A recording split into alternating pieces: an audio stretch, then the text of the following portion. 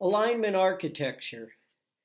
So, alignment architecture is basically the blueprint that you create for you, the one that actually belongs to you, as opposed to the blueprint of society, which is uh, don't ask questions. We don't care what you think. This is what we need from you. And, and it keeps you in line, whereas alignment architecture aligns all those those qualities and those the your purpose you know the societal blueprint doesn't have any purpose. The purpose is we're going to use you for what we want and you just stay in line shut up and don't ask questions. Whereas the architectural alignment is based on our purpose.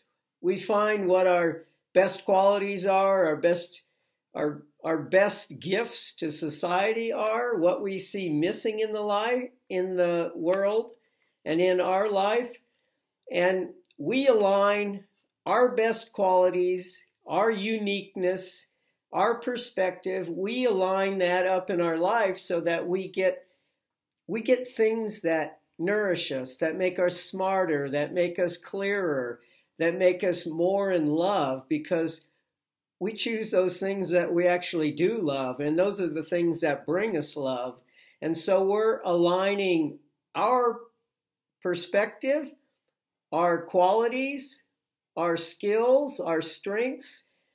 We align them so that when they are all going towards 100%, and we are inspired and full of joy about them and full of love, then we we radiate that and we put that out into the world.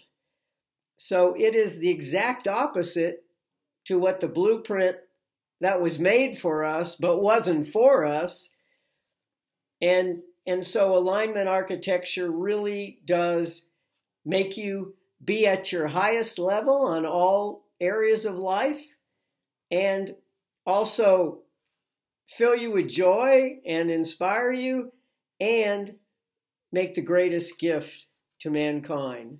So, alignment architecture.